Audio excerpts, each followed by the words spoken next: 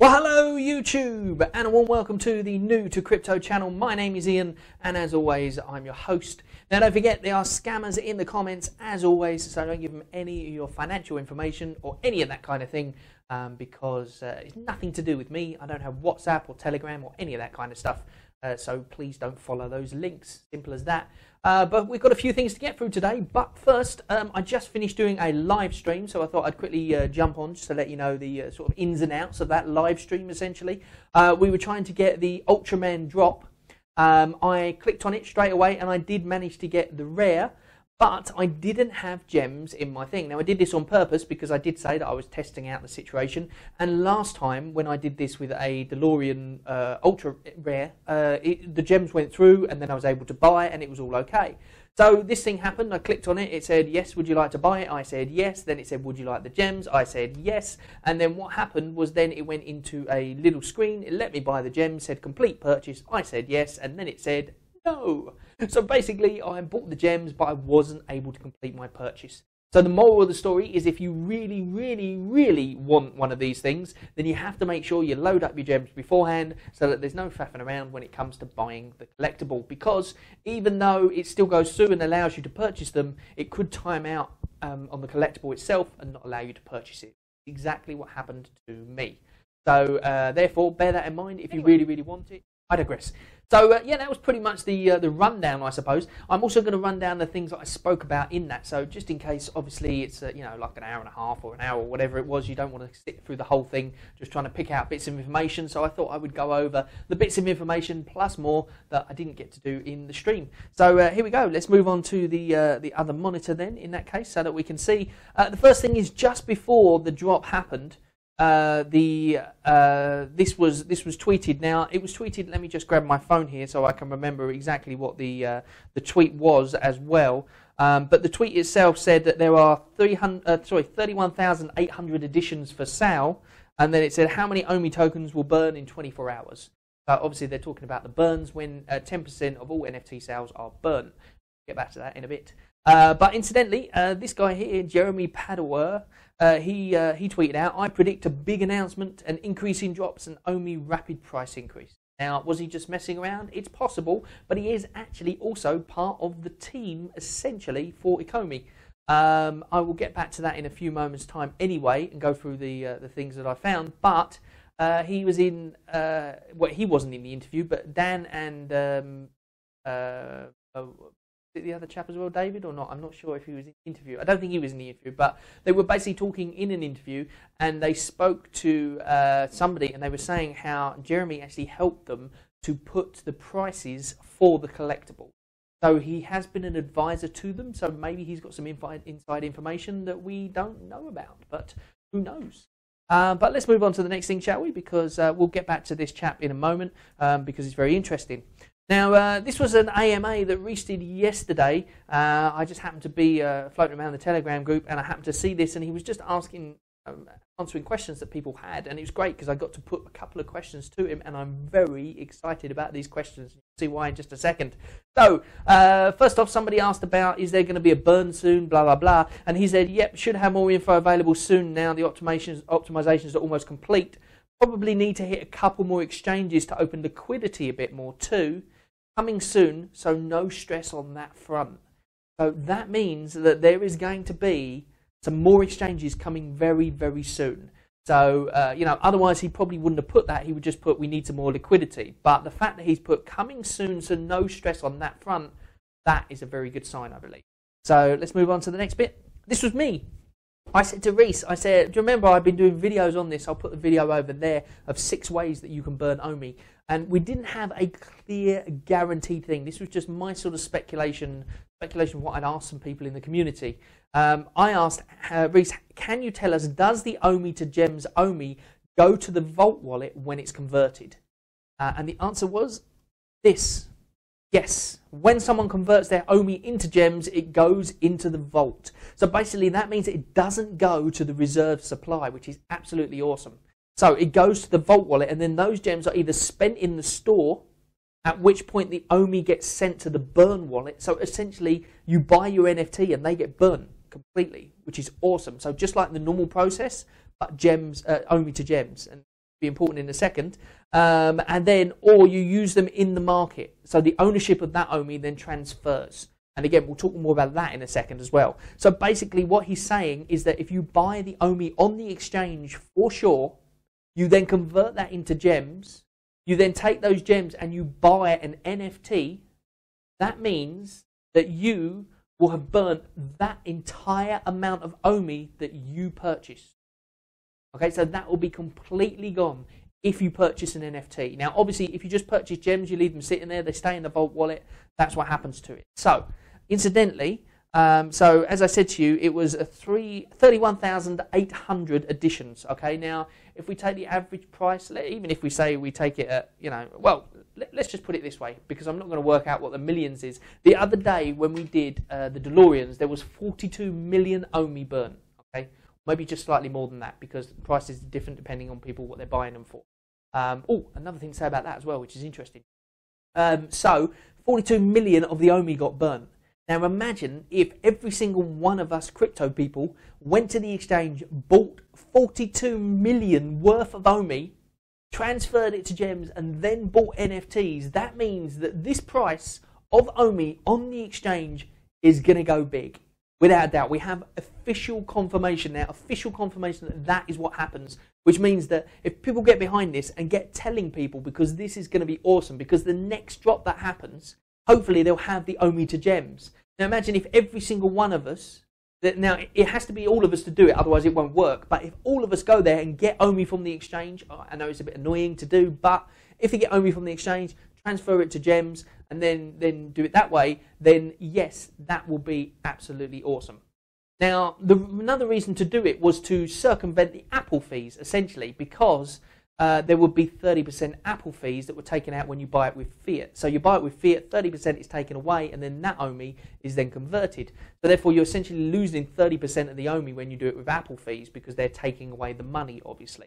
So I guess you could say you lose OMI that way, and you also lose the money that you're paying to Apple. However, I've discovered something today, and that is that when I tried to buy 60 gems, it did not cost me 60 pounds. It cost me 54.99. So therefore, they've obviously done something in the App Store or the Apple Store to stop that price being 60 gems at 60 pounds or 60 dollars at 60 pounds or whatever it is. So in my case, I believe it was 54.99 is what it was, or it was 54. I'll, I'll double check on my, my thing afterwards. Um, but I'm pretty. It was around about the 54 pound mark because I was quite shocked um, because I thought, well, I'm buying 60 gems, so why is that? So therefore, they have changed that, it seems, in the store. So hopefully that will change for you as well. But either way, we don't want to use that anymore. Although the good news is that if you uh, if you do that, then obviously you don't get charged for it. But what will happen is Apple will still get their 70, uh, 30%, which means that 70, uh, 30% of that OMI will still get removed, or, or the price of the OMI. So we would we wouldn't be burning as much. Is what I'm getting at. And also, because you're buying with fiat, that whole OMI, although it gets burnt, it gets burnt from the reserve wallet. Because when you buy stuff, it gets taken out of the reserve wallet and then moves to the vault. Whereas if you buy it from the exchange, it comes direct from the exchange that influences that price. That. That is what's going to make us go to $1 and beyond very, very easily if every single person does that.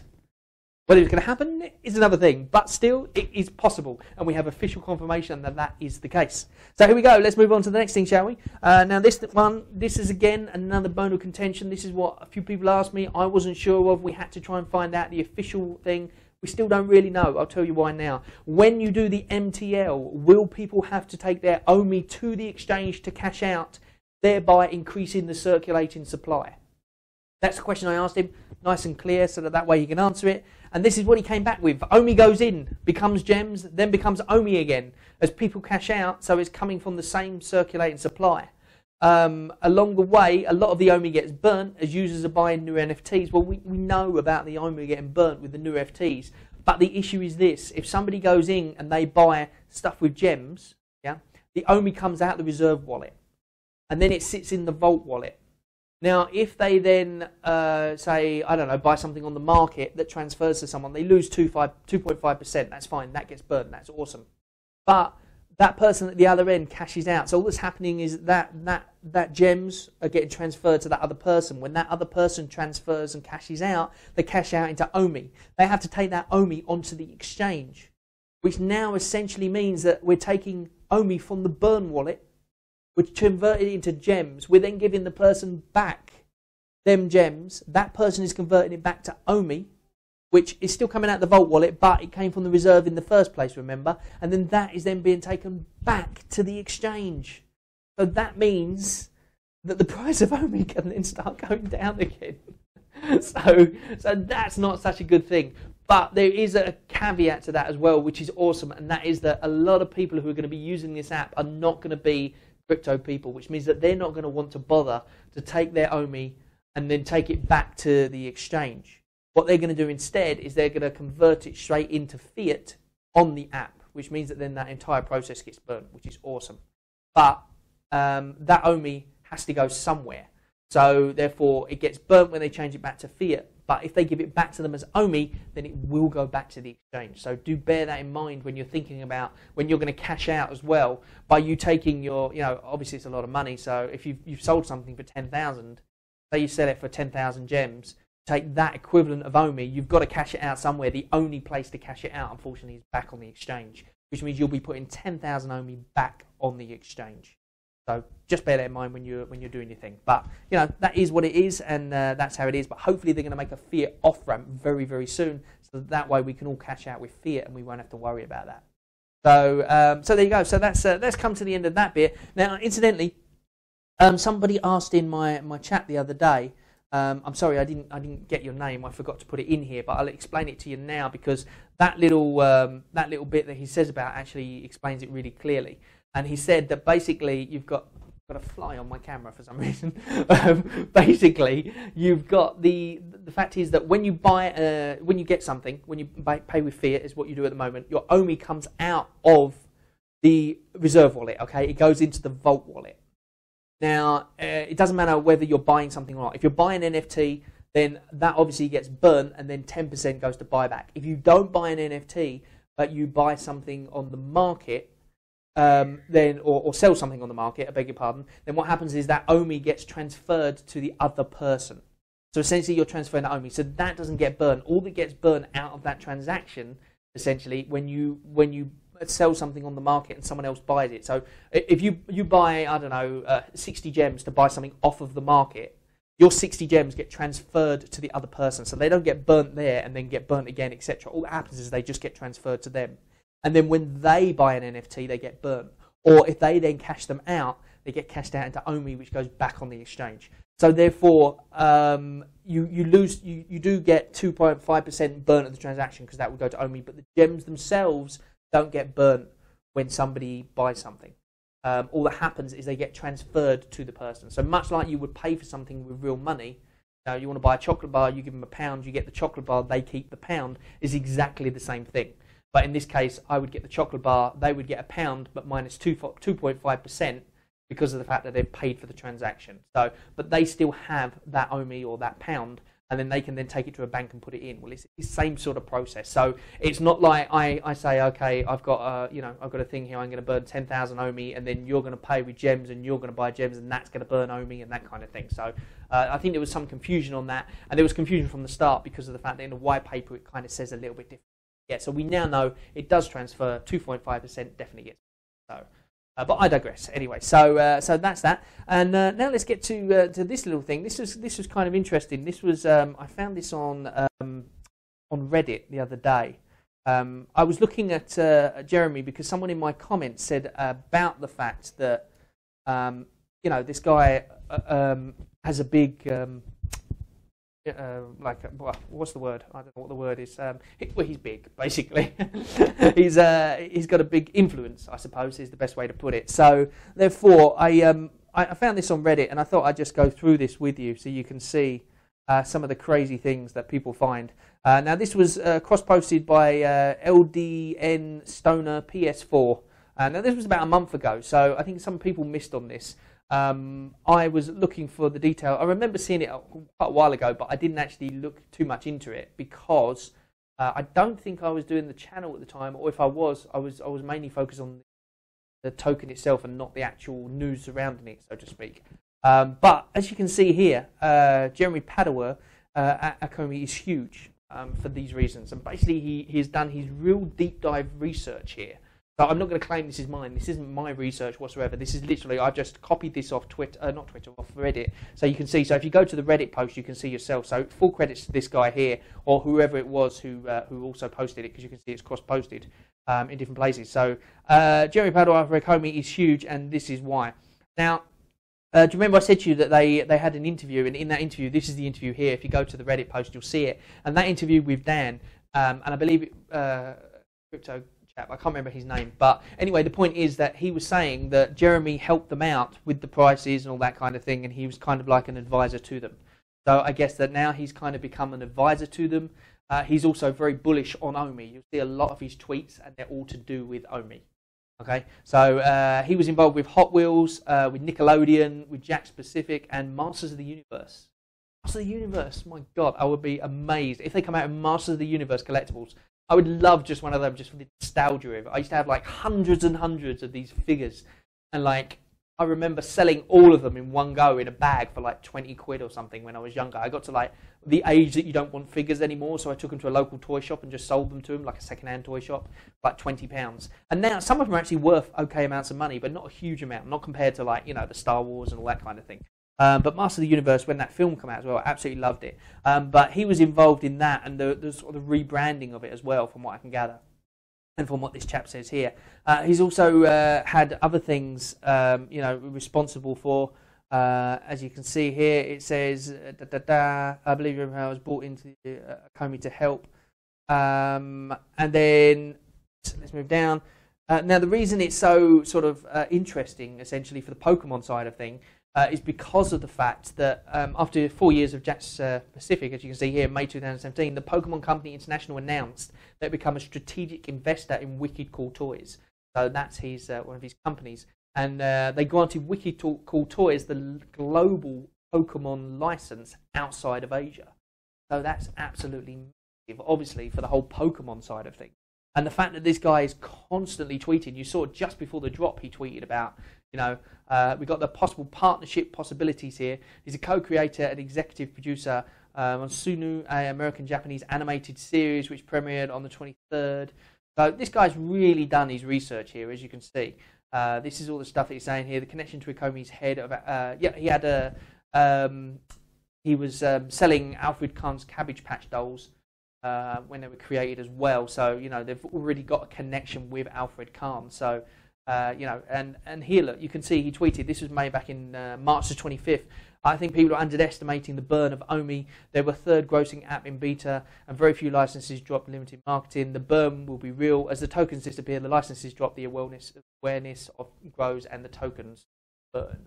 So basically, he's, as you can see, how, how bullish he is on Omi, essentially. He's always tweeting about it, and he's always uh, thinking. Uh, oh, there we go. It says that this information was brought, uh, brought to the attention by uh, Omi Crypto uh, moderator JW Josh. So there you go. These are the people we need to thank for this information, essentially. Oh, incidentally, as well, we said about the WWE the other day, Mad, uh, Mad something or other. They hold the license in Australia. Well, he had something to do with that as well, uh, with the WWE uh, and Mattel as well. So you know, um, you know all these things are possible incoming.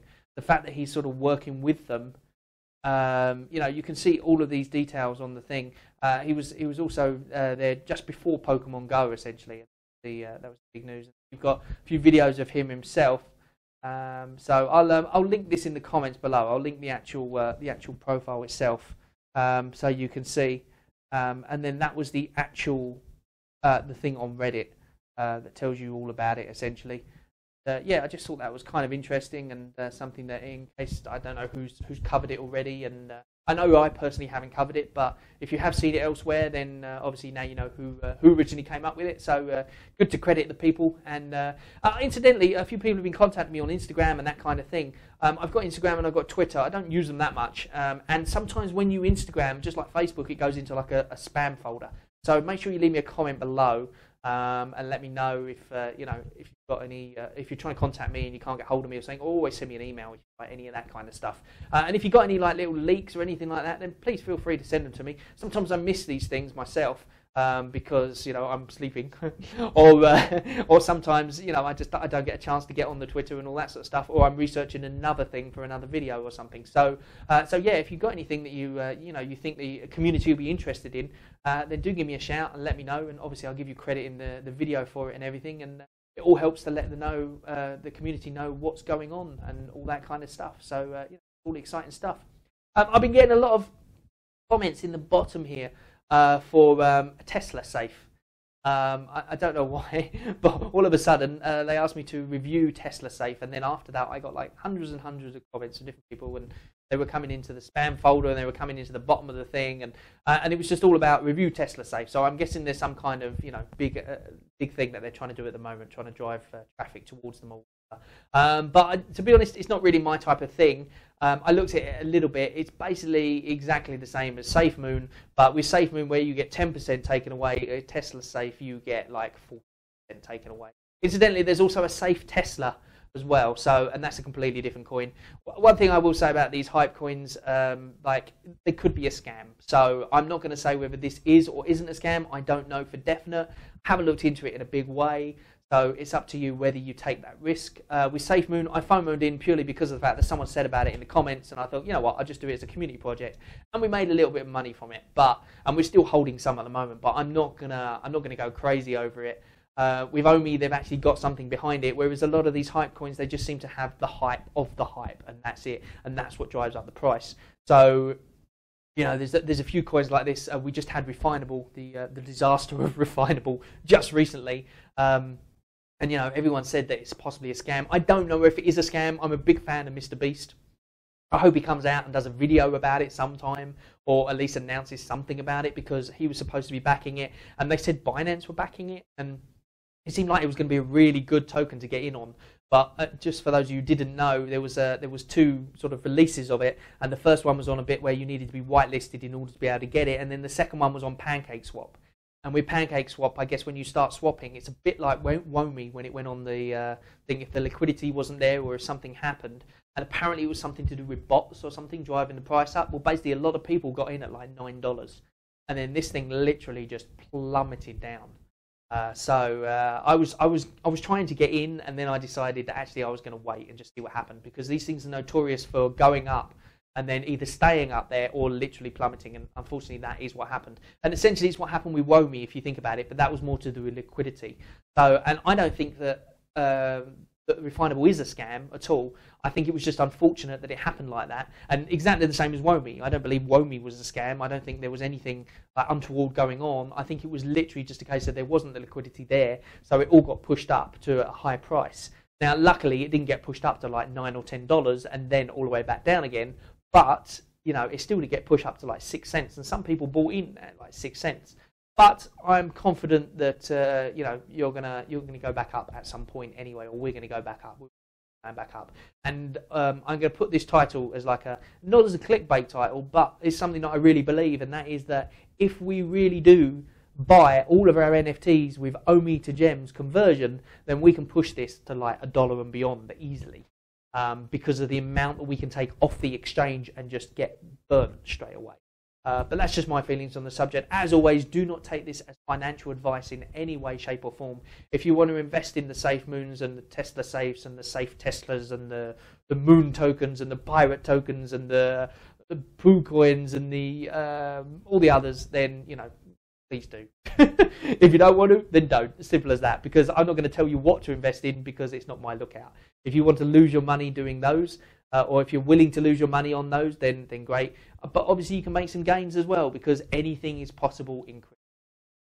Uh, but as I always say, um, oh, actually, there is one last thing, and that is that um, somebody contacted me uh, through Instagram and they said about a coin. I'm going to look into it, but I'm going to mention it now, just in case anyone's got any thoughts about it down down in the thing. It's TITS is the coin. So yeah, it doesn't doesn't spell anything great to say on YouTube, but it's all to do with breast cancer awareness, and it's it's the only coin designed apparently fight breast cancer. So therefore, it might be something worth looking into. I'll have a little deep dive into it. Uh, I'm not saying necessarily for the, the aspect of making money from it. I'm saying purely because of the charity aspect. Um, but I'll have a little looky into it, and I'll see uh, something that uh, you know true thing or well who, who, knows who knows with these coins ever but if anyone else has had experience of this one then uh, you know do put in a comment down below uh, just the same with any of the other ones if you want me to look at and all that kind of thing then I'll happily look into them but like I said in most of these I'm not investing uh, I'm just literally looking to see is something you know, the basics of but uh, a lot of these hype coins, especially, are the same at the moment. They're all doing the same sort of thing, which is to take some away when you buy it, or when you sell it, or when you move it, or all that kind of thing. So you essentially, if you get to hold it for longer, then you will be rewarded by extra coins. Uh, but bear in mind that they put these at millions and millions and millions of coins, so that that way, or billions even, that that way when you buy it, it seems like you're buy, you're you're getting millions, like a millionaire if it goes to a dollar. Well, obviously, it's never going to go to a dollar because you know, it's not really that possible. Um, but uh, they do it that way so that it seems like you can, and you want to buy into them. So, so do bear that in mind when you're thinking about buying into these things. Um, but you know, as always, as I said, not investment advice, so please don't take it as so. And uh, yes, what do I know? Crypto. Bye bye for now. See you on the next video.